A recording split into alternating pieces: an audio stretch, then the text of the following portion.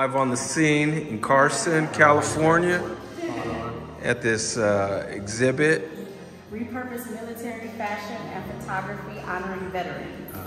And what is this lovely couple's name? I'm Niketa. And I'm Donovan Harris, husband and wife duo.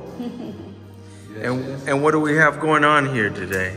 Okay, What's the purpose of this exhibit? So we decided to collaborate on a piece when we found out we had access to this gallery. Uh-huh. He does repurposed military fashion. Yeah. And since I do photography, I thought I would take portrait photography of some local veterans to tie in the like military theme. And then we just kind of started from there and it just turned into turned into this, Into telling this. the stories through his background and their backgrounds and putting it all together. Yeah, and myself, I'm military, I'm a military kid, so um, I had a friend whose father had PTSD, so growing up, I just wanted to tell that story through my fashion, uh, repurposed military fashion or upcycled, whatever you want to call it. So you will see on some pieces I have, uh, I have the tiger, which represents courage. Um, I have the 7173 is my brother, my, my, my brother's birth year, and my birth year. And then you'll notice my brand is Rod and Repeat. So this represents the brand here, and then we represent the military paying homage with the uh, camel uh, colored uh, state flag, the, um, the country flag. And then all of his branding have, is on um, some military dog tags for all of his pieces. And they each have a different story, so we call that one like the Coachella piece. Um, he loves 70s, 70s vibes. And then that's like cut up Letterman jacket. From high school, yeah. And he has some red tail stuff from, from the back for Vietnam. And then my uh, photography, I wanted to create kind of a line shadow down the middle of the faces. Um, the dark side representing the war and the PTSD and, and kind of all the stuff that they're struggling with coming back to America. Yeah. And then the light side is kind of what they show us and what we see because we don't know what's really going on behind closed doors. Right. And it's how they're kind of living both of those lives simultaneously on a daily basis. So why did you feel the need to go into this aspect, the the veteran aspect, instead of anything else in the world you could have done creatively? Well, I mean, I'm a big believer in advocacy. Um, I myself have type 1 diabetes, so I have to advocate for myself in health, and, and he's been my advocate as a T3. as a T, we go T3 is like a caregiver. So any any time that we have an opportunity through art to create discussion, create you know awareness about some stuff that like a lot of the things we had on the panel that they mentioned. Yeah. A lot of people don't just assume that kind of stuff related to military. they go to So being an interactive piece, um, just shedding light on what it's really like coming back, being a veteran. So you're giving uh, love and exposure back to s- something that you feel is ignored, right? Exactly. The, the kind of glamour, the, The media glamorize- yeah, yeah. glamorization of The, the veterans who want to be vulnerable and share their testimony, Yeah. um, we welcomed them into the space to share with the audience, and it it really touched people like opening It does, um, yeah. to hear even how they feel coming back, if they feel accepted, if you know they went out and sacrificed, and you know the thoughts of I might not be coming back home to my family, Right. and then to come back here and you know during 2020 and stuff, Yeah. and It just makes you give you, it, it, it, just, it just gives you another look on what they've uh, not only achieved, but what they went through. So you can have a little more appreciation of just someone saying, oh, I, I did a tour here, you know, and you can just kind of spread a little more love and kind of be a little more generous. And they're all they're all thriving. I mean, he Yeah. he started his own dream academy. Yeah. He's a, a chiropractor. He's a sculptor. Um, the guy in the back owns his own barbershop in Hemet. One Like, like, engineer, yeah. yeah. So they're they're utilizing what they've been given and learned um, to Yeah. give back. So they're giving back even after war. Yeah, for sure, man, for sure. And then I'll break down uh, why you only used uh, black and white paint Okay. splatters on this Okay, so on these pieces. On most pieces, the, the white is in the middle, and the, the black, depending on, it's more so on the sleeve, but I use the black and white more so because I wanted to show the life. Um, can sometimes be black and white in a retrospect of like the way things go, um, trial tribulation that people face. Um, sometimes it just be one one point, uh, white or black. And then when you look at the distressing of it, distressing can break out of the black and white where everything's not just safe. Sometimes things happen out of your control. Um, and then I put, if you, if you notice on some pieces, I put the, the denim patches in between the, the uh, holes, the distressing to show that if you keep on pushing, if you keep on thriving, then some things can come to full fruition. The hole can be patched through um, you just not giving up or believing. So believing that you can do whatever it is you're trying to do. And then for each piece, do you see the garment first or do you have a subject that you want to touch on? Like how does the creativity I, come I about? For me, I see the garment first. Um, I don't necessarily have a subject. I just see the garment. I see, um, depending on what format, like when I look at the Letterman jacket, I just looked at the jacket. I knew I had the, um, the military piece. Um, so it just matter about, now it's a matter about just putting those pieces together and meshing the right things with it because I, I didn't use everything from the jacket. The remnants, I just kind of just said, you know, I can't use it for this here. It just, it, it was a little too much. Yeah. For That one's a more structured jacket too. More structured, It's like, it's more stern than some of the other ones are kind of like lightweight jackets. Yeah.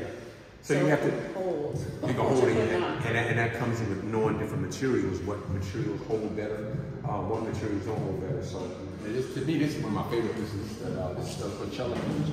Where you look at the whole piece, we're going for like a 70s vibe to it more so. So on this piece here, this is like a 1980s, uh, it's a lightweight BDU called a shirt jacket um, to a degree. And then what I did is I basically wanted to take some denim from pants and put on the sleeves, if you may notice, with zippers. And zippers kind of give it another design aesthetic, you know, kind of a more of an up-to-date feel. Like you see some of the remnants of denim coming through here. The black is not too prevalent on it, more of the white is prevalent. But I didn't want this, this I didn't want this is more saturated. Like these, these are heavier jackets. So I feel like the more of the white gave it more of like a chunkier feel. And this is light, so I kind of gave it a lighter splatter to it.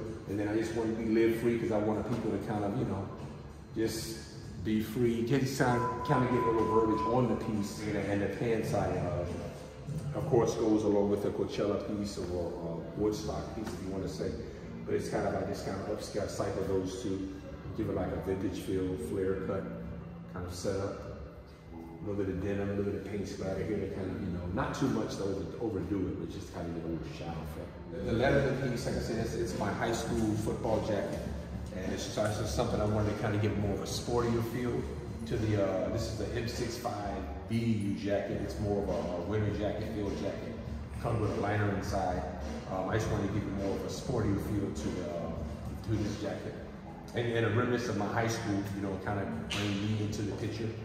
Uh, high school and just, you know, um, how far I've come, I want to say. So this is kind of more, this is more sentimental piece, I would say And more of me in this jacket, I would say, pieces of me, because my field jackets, my um, high school Letterman jacket. So is this almost like a autobiography or self-portrait of yourself It- in the it- garment, or? I was, it's in, to a degree high school wise.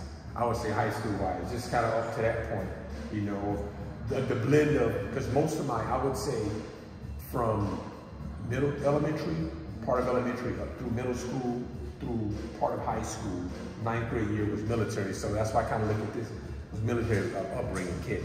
So that's why I kind of look at this like, okay, the military high school, oh yeah, cool, you know, that's kind of, yeah, we kind of got fresh out. My mother, um, my father retired like my freshman year, I think freshman year of high school, so it's kind of like that breakaway. So I just wanted to pay homage to that high school, you know, military kid. And what's the meaning behind the brand name Rod and Repeat? Rod, Rod, Roderick, Rod is short for Roderick. My brother's middle name is Roderick, and uh, that's his middle name. And Repeat is basically a name my uncle gave me because he said I copied everything he did, so it's Rod and Repeat.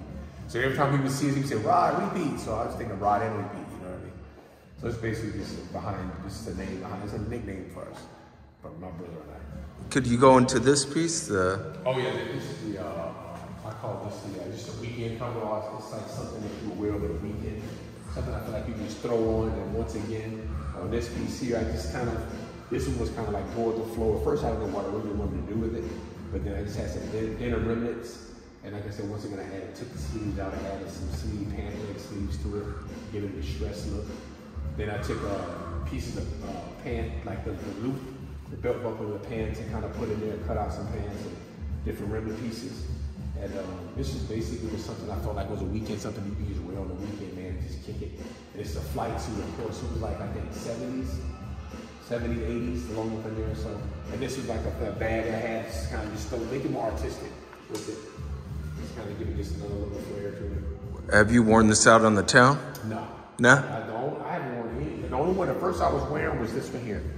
Was this one over here? This is the, uh, this BDU jacket at first, but no, but no, no. It was just plain. No, no art. So anything here, I haven't worn with any. All the one I'm wearing out of town was this one. She's worn that one. Fly. Yeah, all made from the gallery, strictly. Yeah. Right. Page Thomas is Uh huh. Which is a, a group, group. Uh, It's a fight group back in the. You know, I don't even know the history behind it. I, I know a little Yeah, history, but for the viewers that don't, Yeah, if you could just drop a little intro. Basically, they're a group. Uh, the Red Tails are a group of guy African American men, and basically what they would do at first, they were sent out first to fly out to hit tar- to hit targets. But I think at one point they weren't they weren't um, they were suspected to come back, but they came. All of them came back, so they were like, you know, the military was like, hey, no, we're gonna need you guys to go out and fight. So they became like the, the head of it all. Uh, as far as uh, flight and, you know going in and making successes, bombing and all that stuff. So um, yeah, I went, the back of the plane, the back of the plane, yeah, yeah, was red tail, so that's what they call themselves, the red tails. The Tuskegee Airmen, yeah. So I just want to be, and this jacket, you know, I this this cover I didn't do any distressing to. I just left it original as far as like the silhouette. And I just added denim pieces to it because I didn't want to distress it or kind of do any kind of uh, damage in that way to it. So I just kind of have like a little bit of denim here and there. And, you know, you see paint paint splatters here, only on the denim, and then paint splatter black on the garment. And then you see like once again, every piece pretty much has a dog tag. They get back again, the logo repeat, and Buffalo soldier on there. These soldiers, infantrymen back in the back in the 1866 and the 1900s. They were like infantry soldiers in the army. So Where do you see yourself going in the future? With Or do you see yourself sticking to this one type of this type of repurposed? Yeah, I, I, garment. At, the, at this moment in life, I see it. I see sticking to this repurposed, uh, made to order type pieces. Because for me, it just says a little more. I feel like I can do a lot more with it. Um, I, I I felt like I'm in starting this. I never was like a um, brand like where you're just trying to get pieces to sell quickly. I just try to make mass piece. I, every piece I feel like needs to be needs to say something to me. Um, and then if someone, then once the piece is for sale at some point, it needs to say something to the person who's buying it. Um, so yeah, I, I, I've always seen repurpose being something I feel like in the future would be, you know, different items on a bigger scale. Of course, my wife and I traveling, hopefully being able to take this show and travel the exhibit and travel with it um, as a collab would be phenomenal. So yeah, man, next couple of years, that's what we're looking at. That's dope. And is this piece actually from the year This of is this Tuskegee? is like- no, no, I don't know the year exactly, but I know it's from the 65, 1965. So I haven't done my homework as far as like exact. I don't want to say the wrong thing. Uh-huh. But if it's exactly the year, but it's in the 60s, I think. the- Wow. Yeah, so 60s. Maybe maybe a little. It might fall a little more past or shorter, but it's in the 69, 65 vintage. Yeah. So I try to get vintage pieces. I try to get everything vintage, nothing like nothing aftermarket if I can help it. Everything is original. Someone has worn. You know what I mean? Just to give it a different feel, worn in, broken in feel, and it has a story behind it. Other than the story that I'm telling with it, somebody else has worn it. You know what I mean? I don't know the person who's worn it, but I know there's many stories that have come behind it. So that's I think it makes it more brilliant as an art piece. You know, than just just grabbing something going with it. Is it harder to get these vintage pieces or is it fairly at times easy? it can be. At times it can be. A lot of times you have to barter with people because you know you never know what somebody's asking for a piece and you're trying to get it at a good rate. So yeah, it, it can be a little difficult in finding because a lot of people you, you have to do your you have to do your homework and find out if the piece is authentic or if the piece is just something you can kind of tell. I think I, I I've gotten an eye to where I can look at something and tell if it is off key because you can tell by some of the brands, like a lot of them, real military, they go with Scovill zippers. The YKK is more of upper brand zipper, but Scovill did all most of the military zippers. You know, it's like sturdy zippers, made to last, durable. Um, so yeah, I kind of look at the stuff like that, man. You can kind of tell in the stitching. Yeah, the double stitching on that, a lot of their uh, pieces, so they can last being out in the field or whatever it may be. So. And what is the feedback uh, from the people in Carson? Because we're in Carson right now.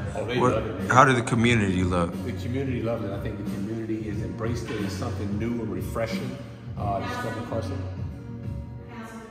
Yeah. Oh yes, Count, Count, um, the Councilman uh, um, Jim Dear came to check it out, check out the piece, which is phenomenal, man. Um, so yeah, he's a he's he's a good friend, uh, the family, and um, yeah, they came to check it out, man. They just really, uh, and I think the city of Carson loved it, man. I think they enjoyed it. I think you know, as we get it out, more and more and more people of Carson and other cities surrounding will be able to take into it and endure, you know, and see and hear our story, man, and be able to give back more to our veterans.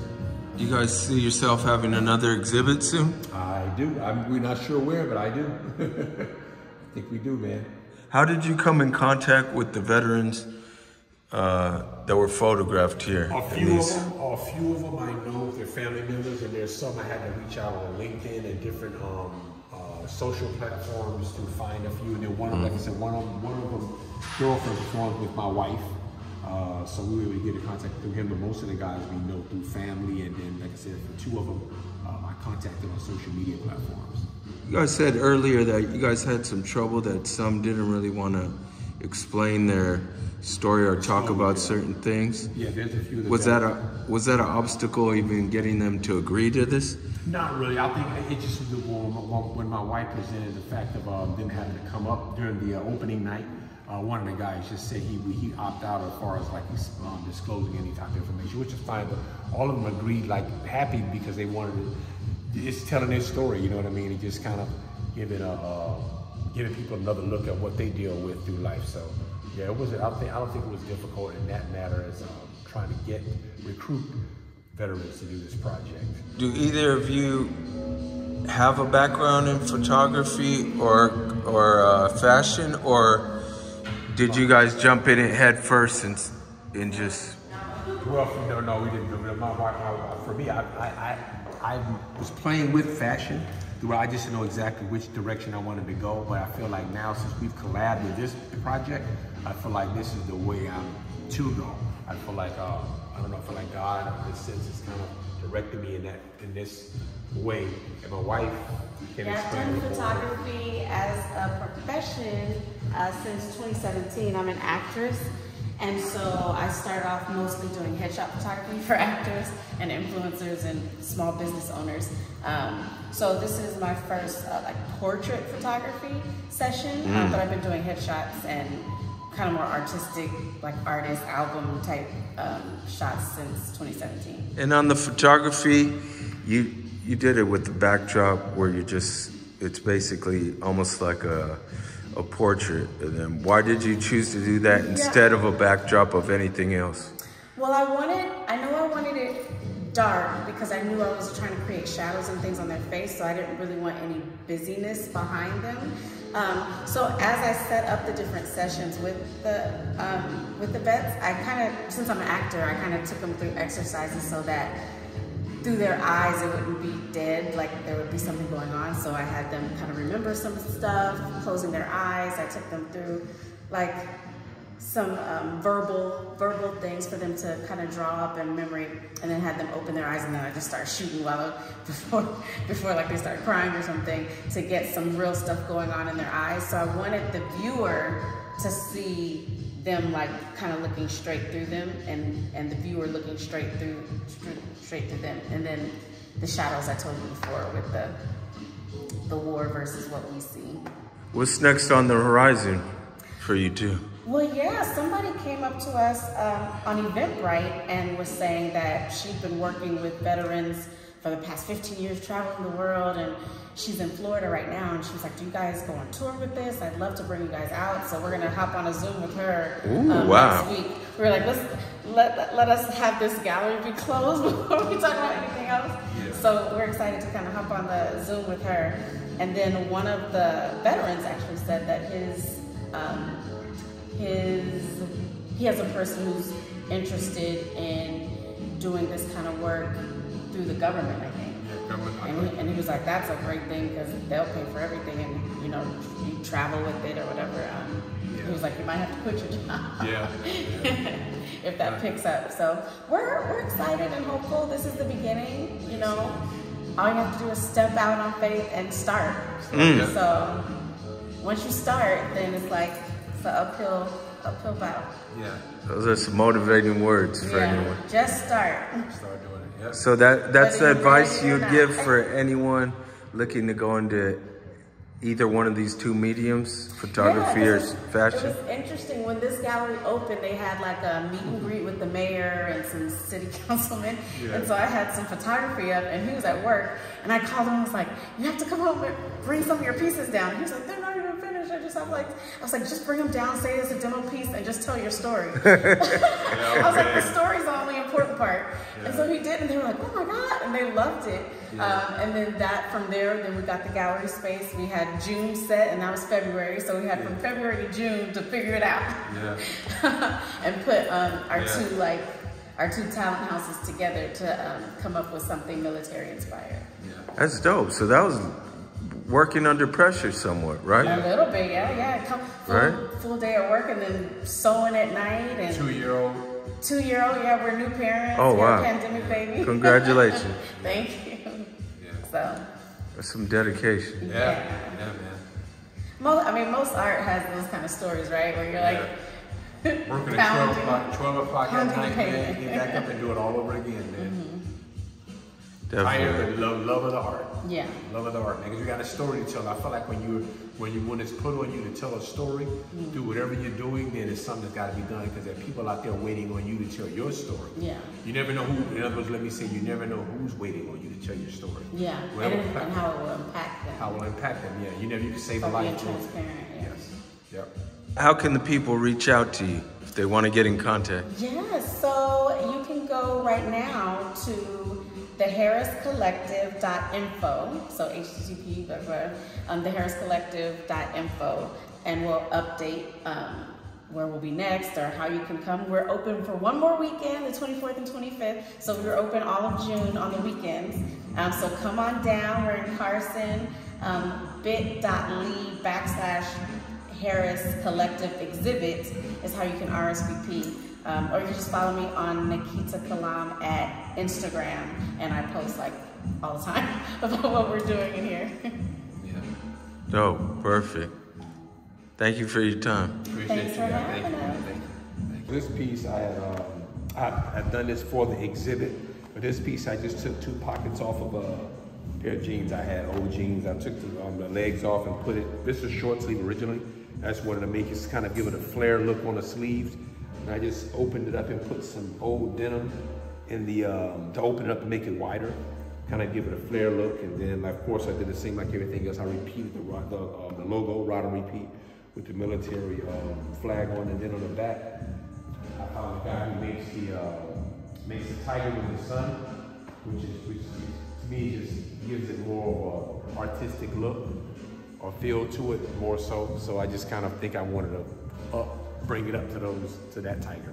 Which is on the rock, tiger on the rock. This means a little more to me. I think it just kind of I think it adds to the piece more in depth.